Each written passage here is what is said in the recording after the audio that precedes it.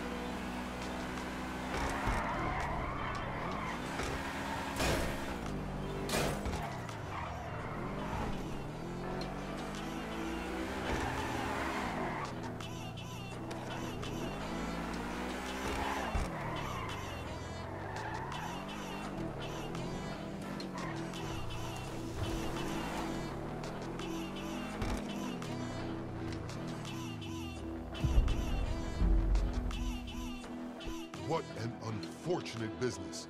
Thank you. Thank you for your help. Well done. I think we managed to quell the importunate uprising, madam. Well done, Vincent. Any ideas? I imagine it was someone who wishes to besmirch the good name of this institution. Uh, yeah, Yo, we know that. sorry to interrupt here. Brucie Kibbutz.